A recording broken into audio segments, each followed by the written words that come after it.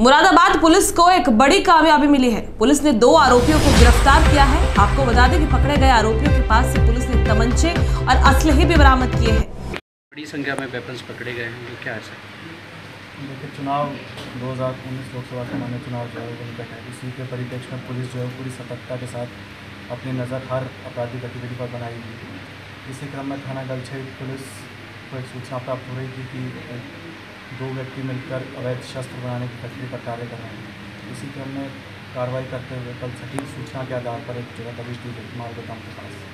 तो वहाँ से दो अभियुक्तों को, मैं सोलह तमंचे के, कारतूस और अदबने तमंचे साथ ही कुछ नाल और अन्य उपकरण जो कि अवैध शस्त्र बनाने में प्रयोग किए जाते हैं, उनके साथ गिरफ़्तार किया गया। इन दोनों पर पूर्व से भी आपराधिक इतिहास से पहले भी ये लोग जेल जा चुके हैं इस समय। और इनको गिरफ़्तार करके आज मैं अवैध शस्त्रों की पूरी फैक्ट्री के उपकरणों के साथ आज जेल भेजा गया। सर दो ही लोग हैं कि और की भी तलाश है? ये दो लोग मुकाय वारदात से गिरफ़्तार किए गए हैं और इनकी गिरफ़्तार करके जेल भेजा गया सर चुना, चुनावी माहौल है क्या यूज़ होना था बाहर या लोकल? देखिए अभी तक जितनी इनसे बात हो पाई है इन्होंने अभी तक कोई सप्लाई नहीं किया। पर अभी ये लोग बनाने बना रहे थे ताकि समय आने पर सप्लाई कर सकें। तो कोई भी कार्रवाई होने से पहले इन्हें जो है पकड़ लिया गया